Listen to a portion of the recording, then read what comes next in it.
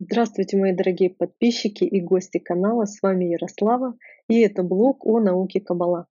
И сегодня мы коснемся очень важной, просто, наверное, самой важной в жизни каждого человека теме– это связь с Создателем.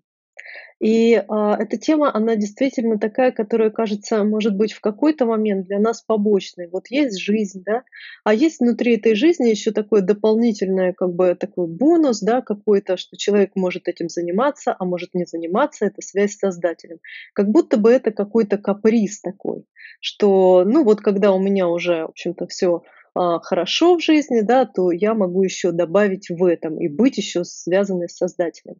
Но на самом деле, вот, ну, по крайней мере, мой опыт жизненный показывает, а, что чем больше ты живешь, чем больше ты узнаешь этот мир, эту жизнь, как в нем все устроено, как люди между собой общаются, да, как человеку приходится сталкиваться с разнообразными жизненными трудностями, проблемами или даже радостями, все равно внутри каждого этого состояния а, действительно заложена такая внутренняя потребность, внутренняя нужда человека быть связанным с кем-то, кого он даже не знает, не ощущает. Этот некто, можно сказать так, что мы называем его как-то Бог, да, мы можем назвать его Творец, можем назвать его какой-то внутренний голос, например, какая-то внутренняя часть души.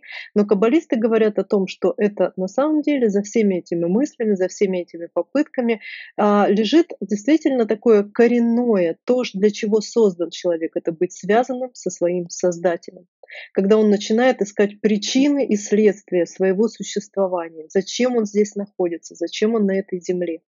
И сейчас мы приходим всем миром к такому состоянию, всем человечеством, что буквально мы не сможем без понимания вот этого состояния как мы связаны с Создателем, как мы с Творцом должны быть соединены, мы не сможем буквально самые элементарные жизненные действия выполнять.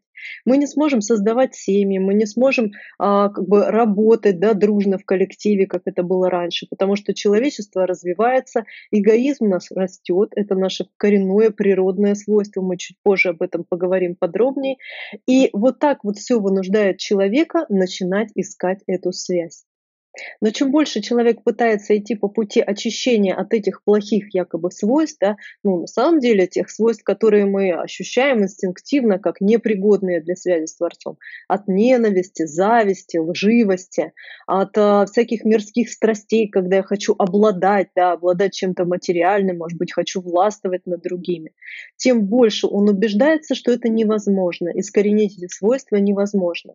И весь мир, буквально все человечество уже постепенно начинают отчаиваться. Мораль и нравственность, как сказать, отходят так уже на второй план, и люди откровенно говорят, да, вот мы такие, ну что поделать, вот мы такие, ну мы не можем ничего с собой сделать. И постепенно приходят к мысли о том, что, ну, может быть, после смерти все изменится, и тогда, когда мы умрем, может быть, мы тогда можем как-то быть связанными с Творцом. Но это все очень неправильно, это неверно. Каббалисты говорят о том, что ничего после смерти не изменится, человек просто перейдет в другое воплощение, будет у него, скажем так, другое тело, да, в котором он будет продолжать тот же круг, пока не придет к полному отчаянию в своем эгоизме, в невозможности а, что-то вообще с ним сделать, да, отчаяться от этого, и не лучше будет каждый следующий кругооборот, а только хуже. Он будет наполнен только все большим ощущением пустоты и беспомощности. Вот что, в общем-то, и является правдой да, вот этой жизни после смерти. Никакой связи с Творцом уже там не будет. И каббалисты объясняют почему.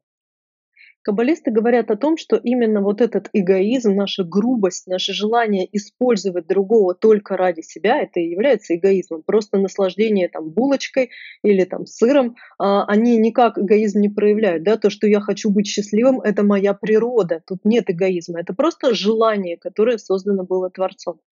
Но так вот, именно благодаря эгоизму, плохим свойствам, отталкиваясь от них и желая связаться между нами выше этих свойств, выше нашего взаимного отторжения, ненависти, желания использовать друг друга, именно так мы как раз можем выстроить связь с Создателем, потому что тогда для этой связи между нами нам будут нужны его свойства. Вот это ответ, вот это важный момент.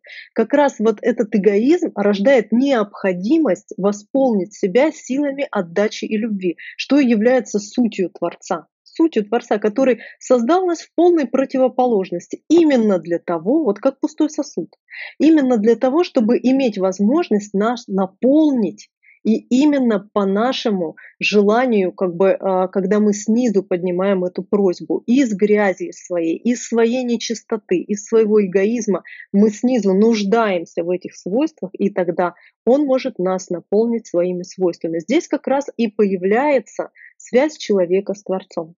И не просто человека, мало того, людей, Потому что именно вот когда мы в связи между нами вот так вот обтираемся и не можем соединиться вот этими острыми краями, вот тогда только мы и начинаем нуждаться истинно в его свойствах. Потому что если человек один, он отрезан от мира, он сидит где-то, допустим, на горе, там, ну, скажем, как-то углубляется в себя, да, что-то такое с собой делает и думает, что вот так он выстраивает связь с Создателем. Нет, на самом деле он в этом случае выстраивает только внутреннюю связь со своими какими-то, может быть, желаниями, там, более чистыми. Но эти чистые желания невозможно использовать для связи с Творцом. Их недостаточно. Маленькая мощность. А вот именно мощность таких наших грязных желаний, эгоистических, которые мы раскрываем в связи между нами, вот она заставляет нас кричать от отчаяния, кричать от отчаяния буквально. И этот ну, уже мир наполняется этим криком. Уже люди не могут, уже откровенно говорят, мы не можем так жить. Нет никакого смысла. Мы не можем взаимодействовать. Мы не можем выносить друг друга. И как тяжело быть одному. То есть мы, получается, вот в такой невозможности начинаем быть заперты собственным эгоизмом и начинаем хотеть что-то с ним сделать. Но пока что еще человечество не понимает, что. Думает как раз, что надо его искоренить. Искоренить его тоже невозможно, потому что, ну, не мы его создали. Ну, кто мы такие, чтобы искоренять его? Если мы не создавали что-то, у нас нет силы и как-то с этим работать. Это логично, это закономерно. И как раз вот такими попытками к связи между собой и с Творцом, то есть вот эта логика уже ну, я надеюсь, у меня получилось ее прояснить, почему именно такая связь человек, другие люди, творец, да, потому что так он может себя проверять, корректировать и прийти к необходимости, к нужде в его свойствах. И вот так вот мы выстраиваем, как каббалисты это называют, экран, экран на наш эгоизм, то есть некое покрытие, облачение, потому что мы никогда, ну, ни один человек и не все люди вместе, мы никогда не станем полностью Творцом, да, именно говорится о подобии свойств, то есть подобный по форме, отдающий, любящий, а внутри содержащий постоянно вот этот зуд сопротивления, что я не хочу, не желаю, но именно отталкиваясь от этого, поднимаюсь в связи с Творцом, поднимаюсь в ощущение высшего мира, то есть мира связи между элементами, так же, как в природе, в теле человека. Вот это межклеточное пространство даже существует да, в теле. То есть оно заполнено как раз вот этой вот жизненной силой, через которую проходит э, взаимообмен между клетками. Точно так же, потому что наше тело создано по прототипу как бы связи, да, то есть по такому а, ну, виртуальный прототип такой связи между клетками, да, как между элементами общей души потому что говорится, что душа у нас одна. Это как раз то, что наполняет а, связь между эгоистическими элементами. Специально так создано, чтобы была постоянная энергия для развития, вот эта цикличность происходила в связях. Поэтому и говорится о бесконечной жизни, то есть бесконечность в нашем постоянном взаимообмене, в нашем постоянном отталкивании от эго и постоянной связи все больше и больше с Создателем. Так что эгоист – это не ругательство, это действительно наша сущность. А, это сущность особенно развитых людей, да, людей мыслящих, думающих, потому что больше есть в них желание эгоистическое, да, то есть в них больший потенциал для развития. Это не значит, что эгоизм надо пестовать, любить или леять, но как раз-таки понимать, как с ним работать по специальной методике, как можно оттолкнуться от него таким образом, чтобы этот эгоизм как раз дал старт дал топливо достичь вот именно этой связи с Творцом, связи с Создателем. Вот такой сегодня разговор. Пишите, что вы об этом думаете, а, как вам вообще такая логика. А, понятно, что она достаточно революционная. Даже сейчас, хотя наука Кабала насчитывает в своем развитии 6 тысяч лет, около 6 тысяч лет, чуть меньше, но тем не менее достаточно революционная мысль. Может быть, у вас есть какие-то идеи, как еще можно связаться с Творцом, как можно связаться с Создателем. Делитесь, будем обсуждать. Действительно, цель наша прийти к истине. Я вас обнимаю. Хорошей недели, здоровья, радости, улыбок, доброй связи. Пока, друзья.